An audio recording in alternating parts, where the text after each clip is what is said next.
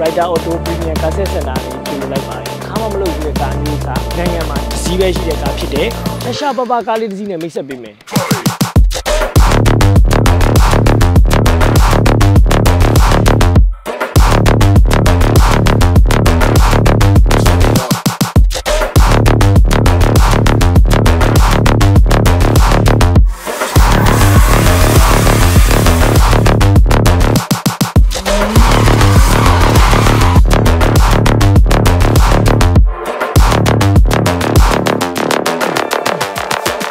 i7 အရင်ဟောင်းပဲကြိုက်နေတော့မယ်ဒါကျွန်တော်ရဲ့အကြိုက်ပေါ့နော်ဒီနိုင်ငံမှာရှိတဲ့အကောင်းဆုံးသောကားတွေရဲ့အကြောင်း